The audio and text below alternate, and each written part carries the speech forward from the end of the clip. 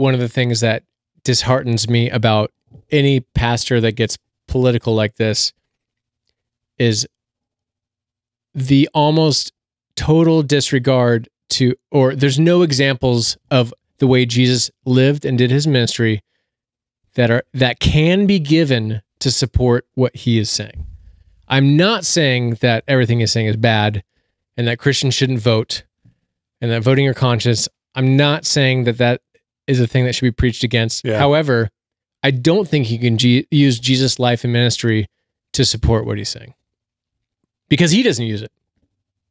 He uses Old Testament examples.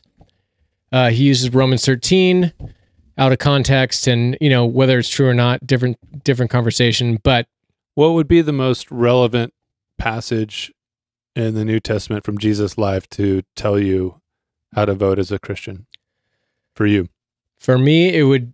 I can't answer it the way you phrased it, but uh, it would be that Jesus, the context of Jesus and the disciples and the fledgling church being under the boot of Rome, which was the total authority. They didn't get a say. There was no democracy there.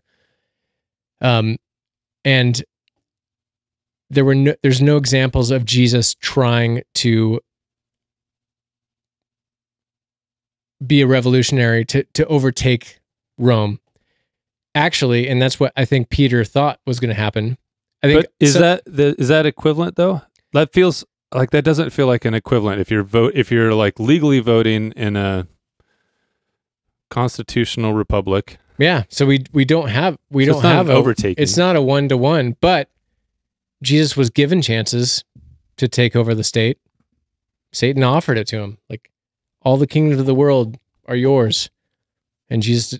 It was one of the temptations. Jesus denied that, and I I think that's worth considering. I I think I see where you're going. I don't I don't know if an overthrow is the same as like a democratically elected official. But he, he didn't even try to change Roman policy. So in the Bible when there are not one-to-one examples of Jesus' life, we can point to other examples in the Bible where God is showing uh examples. uh, you know, and that's that's where I thought it was interesting That that, assumes sho- that God is that God is showing examples outside of human agency of writing and interpreting and editing scripture. at some point if we can't agree on that then maybe we can't talk about the Bible.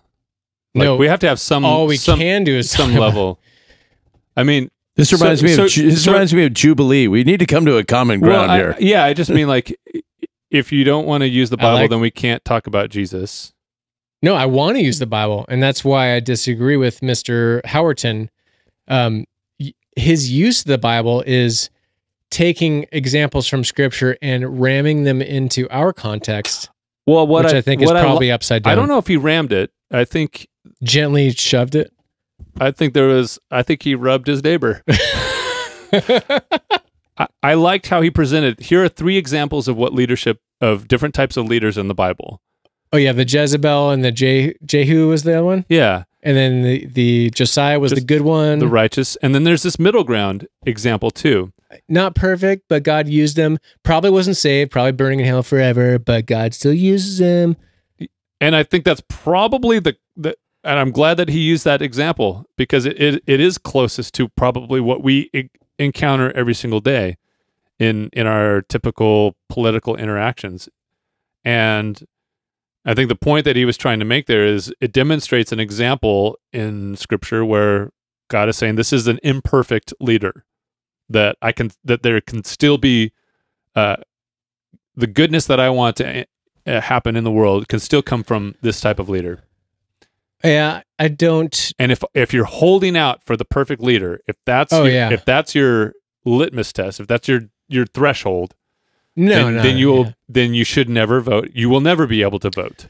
And I don't disagree with that. And that is not what I am personally doing. Except for Pat Robertson in the 80s. Right, Jeff? I abstain. I, I don't. I- I don't. I mean, nowhere in the Bible does it call us to actually reinforce government. uh, in terms of voting. It just says Well, there's no. follow follow follow. You know what your government. I mean, in layman's terms, follow what your government says. They tell you to do something, you need to do it. Pay taxes, uh, whatever it might be. And that's my point. Nobody would. Everybody, if they're guys in power, yeah, everyone agrees with that statement. But as soon as it's Hillary Clinton, from my my background, or if when the Clintons are in power, we ignore those vo- those those uh those passages. Wait, wait, I don't understand. What do you mean? Like if Hillary Clinton Follow was what your leaders say. It's like everyone Yeah. agrees with that when the person they like is in, and right. they ignore it when the person they don't like is is in. right, but that goes against God's laws. I mean, Hillary Clinton's a female; she can't be in power. Forget. Okay. That forget that. That's bes- beside whatever that to me. I guess great, Jeff. Bill was in too. What? That was Wait, wrong. you did part, Joe. I guess Bill sounds like that now too. Yeah, he does. He sounds a little Bidenish. Uh, no, I I I get was it, but never on still, that airplane. there you go. okay, I was never on that airplane 17 times. Where do you stop Hitler's in power? God put him there. We gonna go down that road? great leader, Because that's what the Bible says. right? Right, but still great leader. And we're gonna look back fifty years and be like, what in the hell happened in the United States or in the world government. You should Okay, did you? you should define great though. Yeah, let's. Uh, Uh, Influ- great, you mean great is influential. having the ability to have millions of people follow you in a very uh, I feel like you mean Sh- influential. A very Okay. influential leader. great leadership is the ability to get people to follow you. It doesn't matter what it is. I mean, we're looking at so is the- that definitionally good? we're looking at the lens. Did he well, do no, did great. he do great uh, things? Great doesn't equal good.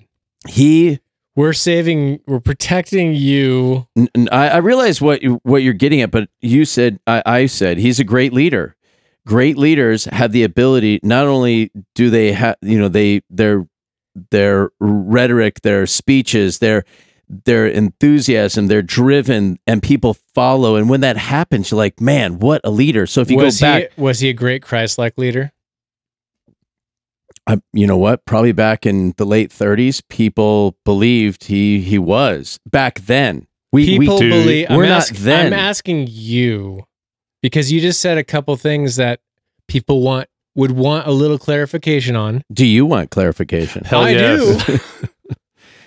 Uh, so I do I do believe that Adolf Hitler was an incredible leader in that he got people to follow a and believe in a way that like in that moment was in- Yeah, he's in- incredible. He's but influential for Right. sure. when we look back, um, we and when anytime we look back in history, the context has changed.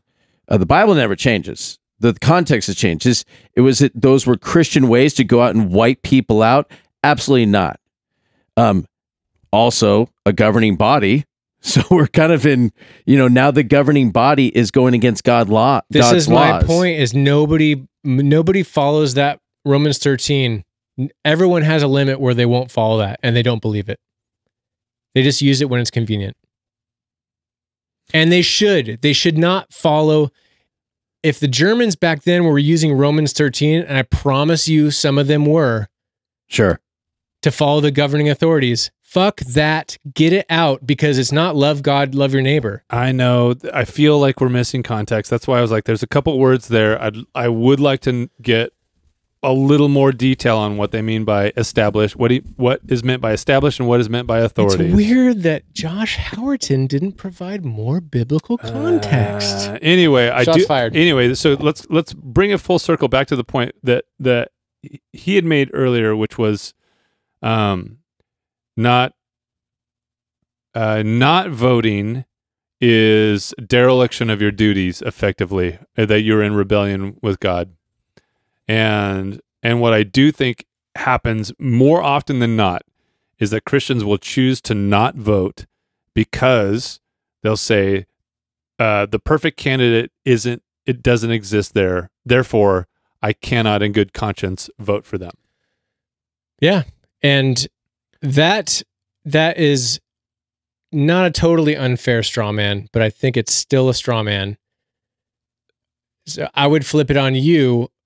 Wh- where's your line to where it's like you got? What if you have two supremely evil Jehu types in the Bible? You have to vote for the greater good.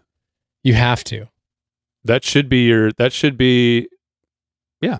Wh- Why? I'll put it this way. Where's your line? Do you have a line where you're like, I can't vote you? for either of these?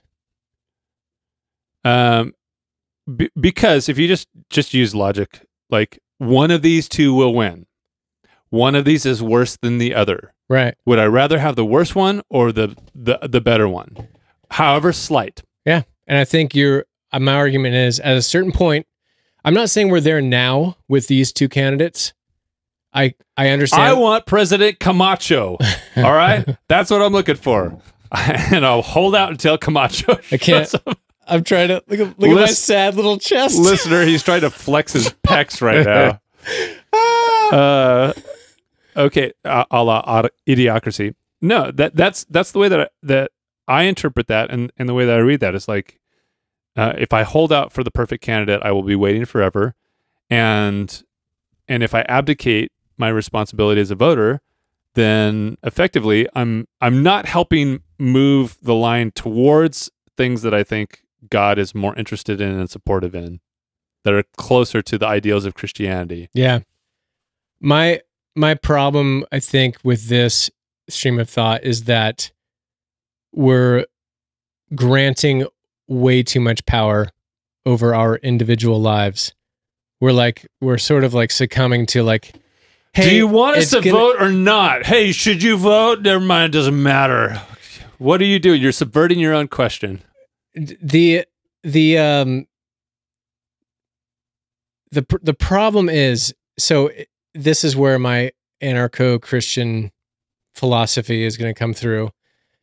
Um and I, I don't know which was the chicken or the egg like my whether it's like my political philosophy or it's the way my faith has developed and it, it probably doesn't matter but um the state definitionally is something that is there to create and enforce laws through the power of the gun or the sword live by the sword die by the sword so what what we're doing is when we grant state power and in our context in america once the state assumes some sort of power Power will be granted one direction or another. Like imagine that there is a, a midpoint and it goes one direction or the other. One direction is towards the is closer towards a Christian biblical Judeo-Christian belief system. yeah And and the other direction is away heart is away from only it. that was true Well, I mean, at, at some point you have to make it has to go one way or the other, right? I mean, what the state the state's gonna empires are gonna empire. My point is like you No, no, no, no. But like you get your guy in that I- you think is better. I'm just saying it, it it has definitionally has to go one direction or the other. Nothing exists purely in the middle, balanced on a laser point, right? So Yeah. if your choice is, can I? It, will my vote help this move in one direction? My your vote will help it move in one direction. Which direction would you rather it move in? I think your vote will make you feel like it's moving in one direction or other. But uh, if I assume that's true, your vote goes to the guy and say you get the guy or gal in that that is better, better than the other one. Moves towards a direction. Are they going to create new laws in whatever direction? Maybe. And is it possible that the power that they use to build in the future, somebody else gets that power? They get the one ring. This is where the analogy is perfect. You've given them the power already. You've set up a scenario where the other person that's directionally bad, So would you ra- so you would rather take the poison pill than than the chance of it never of it potentially happening somewhere down in the future? I would rather go the way and maybe this is the poison pill. I don't know. I think I think Jesus took the poison pill. But I don't want at least right now like I don't want to I don't want to take part in so Trump did less war than was before, but also he continued support for Saudi Arabia that was conducting a genocide on people and then the other way is like I saw I actually saw a tweet where George Bush or somebody tweeting for one of the Bushes was like, "Anybody want to apologize to me right about now?" Which which is kind of funny Right. because of like how chaos chaotic it's gone. And then I saw one political commentator who's an anarchist I follow tweeted back. It's like a million Iraq dead Iraqi women and children might disagree. It's like th- this is what happens with empire building, and this is what you're buying into in small ways. And that's why I am not taking part. I might write somebody in, but regardless, we are buying into this idea that like we're giving power we're like eliminating our individual agency and i think that's a mistake i think i think individual christians So I get what you're saying. You may, I, I get your point. What the argument against that is by you voting for the third party, it is effect. It can it can be interpreted effectively as a vote for towards the negative, t- towards the known negative. Yeah. So i should be f- and that, that's All things being equal, Yeah. give yourself give humanity the chance towards the possible positive rather than the known negative. yeah I, I just i love the the idealism you're showing the possible Well, positive it- is an illusion currently. Well, it's mostly. Well, it's maybe it's not. i'm already i'm already caveating in the other direction. Things that okay i'll, I'll just uh i'll say this. On the count of three we'll all say who we're voting for. Ready? No but uh are there fewer wars? Okay that feels like that's um by the way that's a that's a positive in my book that's a positive right That trump that's a positive for trump in my book Yeah. was it but but again like so so excuse me I've I have set aside for myself the idea that that I I'm going to have the perfect candidate that I and I'm that I can't I've got to try to look for more good good than there is bad. Right. But surely there is a line where There is a line It and would don't be- call me Shirley. Yes. Is that the line? Great airplane reference. I knew it. Where where is your line though? Um, There's a point where you you would not take part because it's violating your conscience too much. Uh, The type of people that are running it well, so I don't know if I'm someone who would consider consider themselves like a one uh one issue voter. I'm not a single I'm not a single issue voter. So at some point there I will look at it and go, well, you've tipped the scales now in the wrong direction. Now you are now you're no longer a net positive. Whatever whatever the conglomeration of things are that that equal that, in my personal opinion, yeah. then then that's the point where I'll make it. So it's hard for me to give you like a super clean answer, but I will say there there, there could come a point where I go, nope, But there is a reality that you can imagine and that's where you would I'm not going to do this. Not going to do what? Not going to vote for Vote. anybody. Yeah. Vote for a president. The Or logical for, par- a, for a major the logical part of me says there's no way. it's okay. We're getting played off right now. I know we are getting played off. It's because I forgot to delete the little outro. Our listeners won't hear this. Okay. It's okay. Oh. Right now, the theme song is playing and it's hilarious. Oh, it's good. playing in our No, That's fine. That's fine. It'll be over enough. So Let's test our ability to focus. I know. I'm just going to take my earphones off. So um, That's funny. They might hear the headphones. I think the likelihood that we would find a perfectly like matched uh, duo in terms of of that like which which direction are you sending us So, it, is so unlikely. right. But what you're admitting to without admitting to it is we're, it's just little compromises. It's constant compromises. Oh, I'll admit to it right away. That's that's the whole point. If you if you the moment that you admit I can't find the perfect candidate, therefore I need to find someone who is closer to the ideals that I care about, Yeah. that openly admits that there has to be compromise. And I think that's the core of what Josh is saying in that point is Yeah. if you're waiting for a no compromise uh, candidate, you will wait to the grave. And I don't disagree with that. Um, but I do disagree with in this, in our context where we have the freedom, like voting or not voting is a freedom either way. And when he says you're abdicating your responsibility. Yeah. Actually, we'll probably skip the the clip, but there's another clip that I uh, pulled where he does say 30 million Christians in 2016 didn't vote, and they abdicated their responsibility in the last election. Um, I think that's disappointing. and but the thing is, like, that's their free right to do. And, And- it's and my, he's- of course, of course it is. He doesn't not- say it's not their free right. but they're they're abdicating their responsibility to God. And I don't Which think your- there's which- which any is your- biblical evidence for that. Um, There is no biblical reference for a constitutional or like a, a democratic republic in the Bible. It was kings, it was leaders, it was I I, I So- suppose Rome had some sort so of the thing argument, going on. the argument that he but that makes there, my case even more because Je- there's no evidence of Jesus trying to get Christians to do that. Um, is there evidence of Christians in the Bible advocating for Christian values? I kind of like the no earphones right now. By the way, it feels nice. The government, the nice. government, I mean, those in government are supposed to be fighting for Christian values. They're supposed to be. I don't think that's true at all.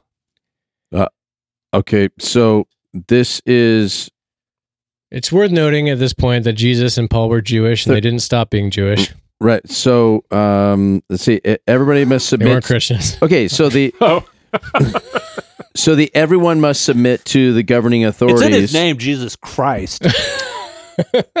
the, therefore those uh, who rebel against the authority is opposing God's institution. Okay, s- skip forward. For rulers are not a terror to good conduct, but to evil. So rulers, they're a terror to evil. Those in gov- those are that are ruling government are a terror to evil.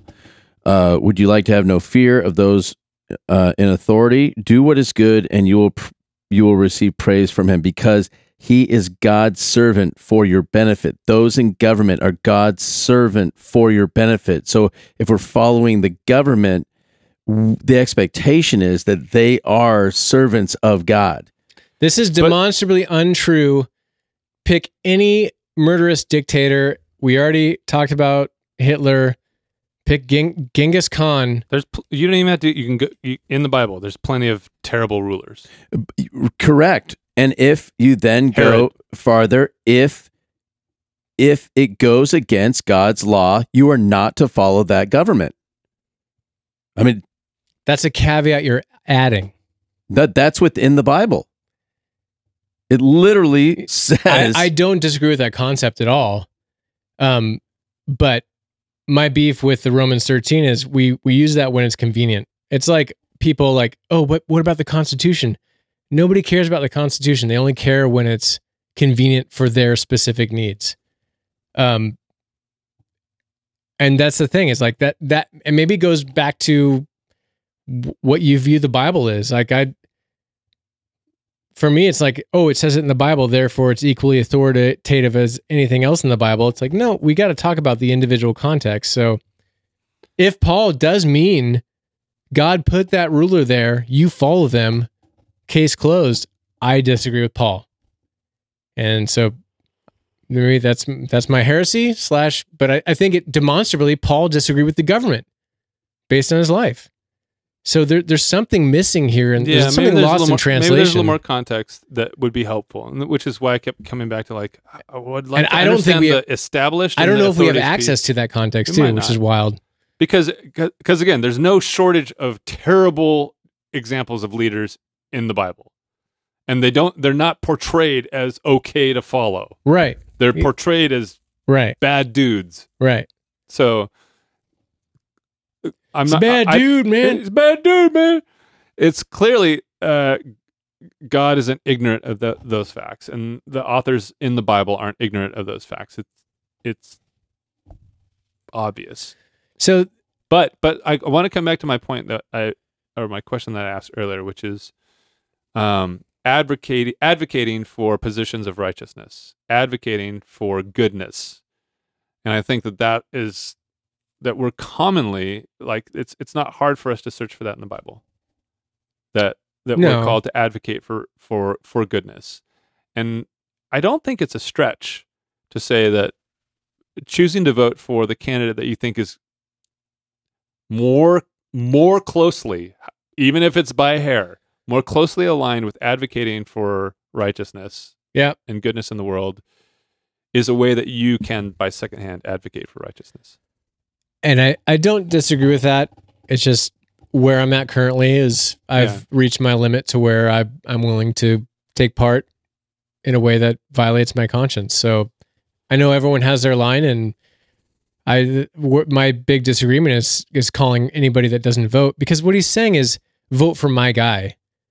He in the th- the bullshit part of his sermon. Well, it's not even a sermon. I'm with you. I I didn't disagree with. I, I agreed with a lot of it. Um, in theory, but when they say he says I I'm not here to endorse a candidate, it's bullshit. He is. He's not going to say vote for Trump, but that's what he's saying. Voting for Trump. It's like he's talking to toddlers, and also I don't think by law he can endorse a candidate on a Sunday. I think he probably No, ha- he I think there's a be vague. violation of your 501c3 status if you end up doing that. There's something in there. So which- it's t- that part of it is total horseshit, and everyone knows it. Um, even if voting for his guy is the right thing to do, which obviously you can tell I don't think it is, but I, I'm not going to hold it against people that do. okay. Okay, I'm done caveating, but but every election season, I have friends that are like, I don't care who you vote for, it's your right. You must vote. It's like, but you kind of do. what if I vote for the wrong person? What if I vote for the person you hate? Not you. I'm just saying this person and people that are very real in my social media life. Like, just vote. It's your right. Um, nobody thinks that. So I think I've just grown weary enough of those Well- contradictions to where I'm like, Maybe you don't think that, I think that maybe not nobody. the the idea of voting as an American citizen, I think it's important that everybody votes. I think everybody have some skin in the game. So there's some debate uh, of, or- or you're just you're like, I, I'm this is my person and this is why, as opposed to "Ah, I'm just you know, uh, this whole system, uh, you know, I'm cynical about it and it just it doesn't function. It's like, okay, well, you know, a part of the process is is voting is to be involved is to get in involved in you know the the Yeah. systems that you're part of like i'm you the know difference is it's not a biblical process. It's a process. yeah it is Does a governing have- authority It's not wrong in nature, but the- I think the difference is some Christian leaders are using the Bible to make it seem like a biblical process. Wait, wait, wait, wait. I think you're overreaching there a little bit. It's your biblical duty to vote is basically what he's getting into. If you're not voting, you're in you're in passive rebellion against God. if yeah but i think that he's talking like like i said earlier just because it doesn't spell it are, are you you're not hung up on the idea that just because it doesn't spell this out specifically in the bible that you shouldn't advocate for leaders who support righteousness there's plenty of No. like non-direct examples No, of that and I can think of right? plenty of people I would want to be leaders in this country. yeah yeah yeah and that who I would vote for. Right. Um, but making a mandate and saying, "Hey, if you're a Christian, be careful. You're rebelling against God if you don't take part in the bullshit two-party system that all of us would agree the two-party thing is kind of rigged and a joke, but yet every 4 years we all like, well, yeah, but this time we really got to we just got to do it." So I, I look yes every four years do we all have to look at this and go here's the sandwich that's in you front got of to us hold your nose. here's the sandwich that's in front of us that we, we all get to take a bite out of. Yeah. But that's where I thought his interesting point was if you're waiting for the perfect candidate, you'll wait until you're dead. Yeah. And so, how are you trying to move the ball forward in a way that is closer to the things that you think God, Which is a interested in? reasonable stream of thought and I like and I I appreciate it. And so, I'm if, just saying if you- that is your, th- if the that is, best way the best way forward might be to wait until you're dead. I'm just kidding. well, no, because then th- that's his point is that you you are actively not helping move things forward, and so by default, you're helping them move backwards. Well, to him, to him, everything is moving backwards. We're just slowing it down, which I thought was interesting. which is a point I disagree. I, I don't know how that lines up with the kingdom of God expanding like a mustard seed. I feel like that's a contradiction for most Christians. Is like the world is always going to get bad. That's the only way it's going to go until Christ comes back. and he, he- that's kind of where he's Uh, at. Well, there uh, Revelation has some of that in there too. Like Yeah, know, and I, I just think that it's it's a shitty interpretation, and I think it's a contradiction of Jesus saying the kingdom of God expands, and I think there's evidence of the kingdom of God expanding. This is good news, by the way. The kingdom of God expanding, the more people become disciples of Christ and actually live into the love God, love your enemy, love your neighbor. That's the kingdom of God expanding. The world will get better, and it can get better, and it ties into the correct, in my view, interpretation of revelation is a renewed heavens and earth, not a different heavens and earth. I like that too, but it, it can get worse before it gets better. Yeah, for sure. Yeah. But so far, it's like a stock market. It's like there's a lot of downs and a lot of ups. We might be in a down period, but overall, for like general well being of more and more people, you can make an argument that things have been are are better generally, just on various metrics. See Steven Pinker and people like him, which there's holes in that too, but whatever. Different conversation. There's holes in Steven Pinker. yeah. Gross.